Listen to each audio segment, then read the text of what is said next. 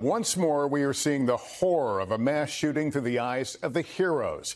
Days after a teenage shooter randomly killed three elderly women, police in Farmington, New Mexico have released dramatic body camera video capturing the daring actions of police officers. In scenes we should warn you may find upsetting, the video captures officers rushing toward the danger, their long guns extended in front as one officer confronts and takes down the shooter.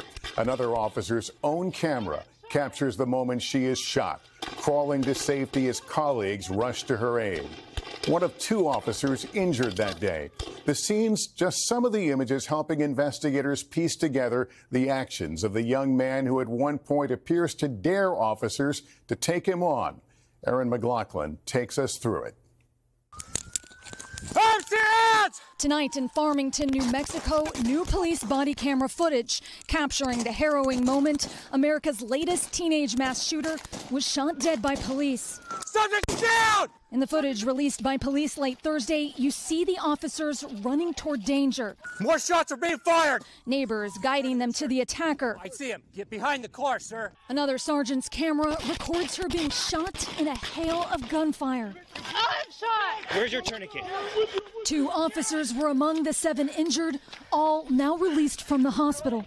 We're securing! This was the climax of 18 year old Beau Wilson's deadly rampage through his own neighborhood. Police say 97 year old Gwendolyn Schofield and her 73 year old daughter Melody died trying to save 79 year old Shirley Voita, also killed.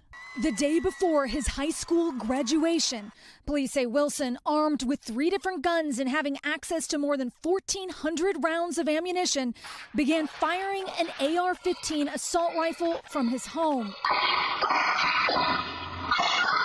He fired more than 140 bullets before dropping the AR 15 and moving down the block, firing at random homes and cars. He is yelling on the ring footage. Um, come kill me. Police say Wilson was initially wearing a bulletproof vest modified to include steel plates. Before taking it off for his last stand with police, the motive remains unclear. Their only clue this chilling note found on his body saying, I'm at the end of the chapter. Tonight, there are still so many unanswered questions following this stunning display of violence. Such heroism in the face of danger. Erin, what is the family of the shooter saying tonight? Lester, in a statement, his family sending their condolences to the victims, writing Wilson was fighting a battle with mental illness that he lost.